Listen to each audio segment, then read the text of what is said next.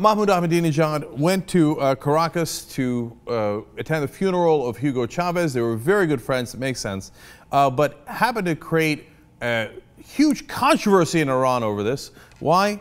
Well, he hugged the grieving mother of Hugo Chavez, uh, Elena Freitas de Chavez, and, and there it is. Now, you can see obviously why this is huge controversy. I can't believe he did this. How dare he? Oh my God, I am so angry. Remind me what I'm angry about? so, the good people of Iran, or some of them, of course, uh, have decided that this was unacceptable because it is haram. No, not like haram, like, hey, go get him, Mahmoud, you know what I'm saying? Nice haram. No, haram as in an unacceptable sin. Now, there's a lot of different ways of translating haram, but basically it means sin. Sin. So, what was the sin? He's touching a woman there. Cheek to cheek. Oh no! Will God ever recover? I mean, really? You think this is a grave offense towards Allah?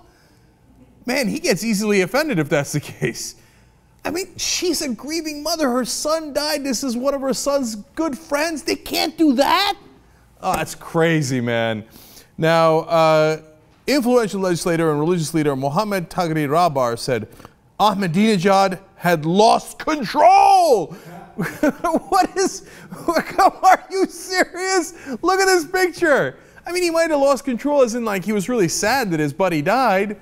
I mean, look, Ahmadinejad is a goofy guy and I've got a hundred different criticism of him. One of which is that he literally said on his own website that Hugo Chavez would come back with Jesus during the resurrection. Can you imagine the look on the fundamentalist Christian's face here in America? Oh, thank God there's Jesus.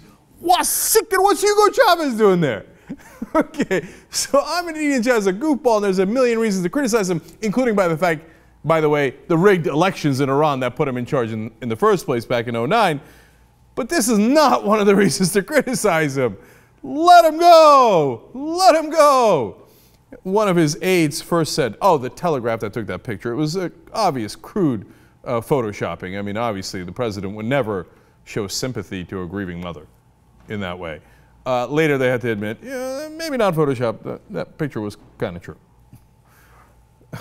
Man, I, I believe Iran has bigger problems than this. I'm pretty sure of it.